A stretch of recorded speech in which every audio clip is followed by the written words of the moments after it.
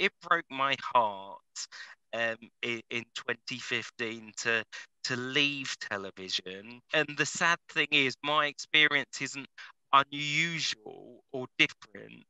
It's typical for the industry. I never felt I could talk about my disability uh, because uh, you you're working on quite short term contracts. I guess the one word I would describe um, in terms of approaches um, or beliefs around disability in the industry is limited. I think the idea of what disability is, who is disabled, what people look like if they're disabled, um, is is very limited. My disability, I'm not apparent.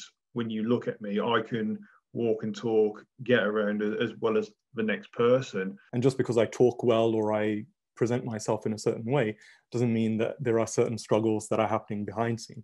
I, have had an exec telling me, "Oh, is that the one where you can't read and write?"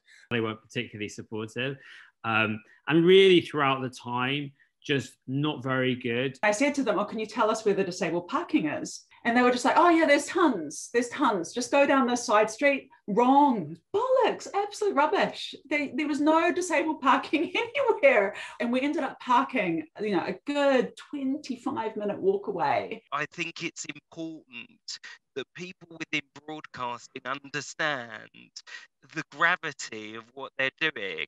I moved to Manchester and I lived in my car.